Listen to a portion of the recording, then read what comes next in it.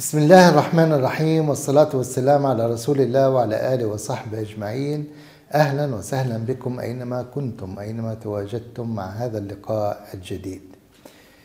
وردني سؤال من أحد المتابعين يقول دكتور مازن أجريت فحوصات وظهر عندي خلل في كريات الدم الحمراء وأعاني من فقر دم وأيضا أشعر بالتنميل بشكل متواصل في اليدين والقدمين ما الحل وكيف أتعامل مع هذه المشكلة؟ بارك الله فيك.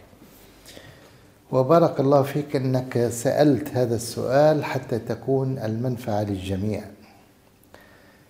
كريات الدم الحمراء طبعا هذه من من أهم منظومة الجسم ككل. كريات الدم الحمراء بها بروتين أو مرتبطة ببروتين يسمى الهيموغلوبين. وهذا طبعا ينقل الأكسجين من الرئة إلى باقي أعضاء الجسم. وكريات الدم الحمراء تحتاج حتى تقوم بوظائفها كما يجب ونقل هذا الأكسجين وتكوين الهيموغلوبين وإلى آخره من هذا الكلام. وكل الأشياء الجميلة من كريات الدم الحمراء تحتاج إلى مين؟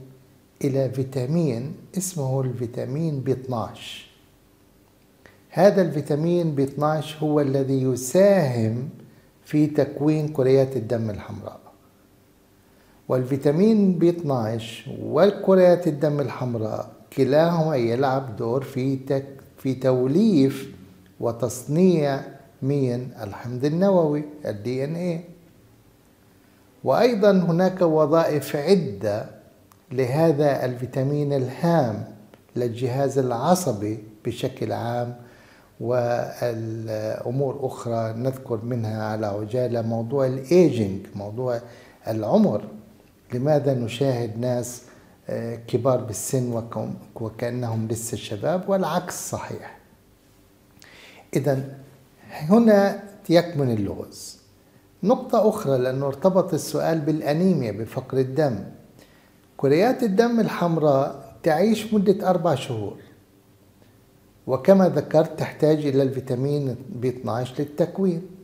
فإذا عدت الأربع شهور ولم يكن هناك فيتامين ب 12 متواجد فلن يكون هناك عملية تكوين لكريات الدم الحمراء. وبالتالي تقل. وحين تقل تبدأ مظاهر التنميل والتخدير والإعياء وفقر الدم وكل هذه المظاهر التي يشكو منها السائل. يستغرب السائل أو يستغرب الناس حين يتناول مثلا الحديد والإبر الحديد أو حين يفحص الحديد يجده جيدا. طب كيف جيد؟ وأنا مثلا أعاني من فقر دم فقر الدم هناك فقر دم مرتبط بالحديد وهناك فقر دم مرتبط بالفيتامين ب 12 أشكال فقر الدم متعددة. وليس من الشرط أن يكون فقط اللي هو ما يعرف بال iron deficiency فقط بالحديد. لا في ممكن يكون بالحديد ممكن يكون بال B 12 ممكن يكون كلاهما. تمام؟ هنا يستوجب لنا الحل. يقول السائل ما الحل؟ الحل في تعزيز فيتامين B 12 إحنا لو نظرنا مصادر الفيتامين بي 12 نقول الأعضاء. وعشان لأنه في بعض الأحيان يقرأ الناس عبر الإنترنت يقرؤون الأعضاء الأسماك البيض والتعديل واللحوم الحمراء وهكذا. ويعتقد كل من يقرأ أن أيا منهم يحتوي على بي 12 لا الحكاية ليست هكذا بالمطلق. أديكم مثال بالأرقام. إذا نظرنا مثلا للأعضاء فكل مثلا 100 جرام من الأعضاء مثلا كبد الدواجن أو كبد العجل على سبيل المثال كبد العجل نأخذ على سبيل المثال يحتوي على 70 مايكروغرام من الفيتامين B 12 شوفوا 70 إذا بدي أنتقل للعنصر اللي وراه الأسماك على سبيل المثال تحتوي لنفس الكمية 100 جرام تحتوي على 17 مايكروغرام شوفوا من 70 ل 17 حليب كامل الدسم يحتوي على 1.3 شوفوا واحد مقابل 70 البيض يحتوي على نص مايكروغرام فالقصة ليس بالتعداد. نقول هذا يحتوي وهذا يحتوي. كم يحتوي من الفيتامين ب 12 وإذا لم نأخذ المصدر الحقيقي الغني على الفاضي.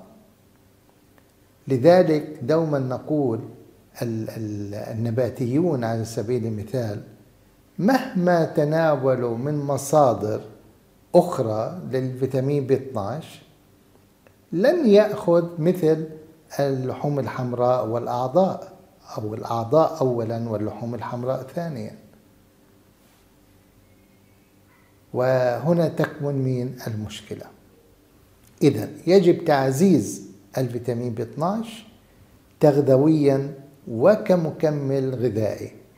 وهنا يجدر الإشارة أن الفيتامين ب 12 الذي سوف نأخذه كمكمل غذائي إن احتجنا أو كان الإنسان مثلا النباتي الذي يعاني من هذه المشكلة يجب أن يكون بالشكل الطبيعي أي methylcobalamin وليس ب 12 الكيميائي اللي هو سيانو كوبولامين وهناك فرق بينهما وإن شاء الله سوف نتحدث على هذه الفروقات في لقاء قادم إن شاء الله. ودوما نرجو لكم دوام الصحة والعافية والسلام عليكم ورحمة الله وبركاته.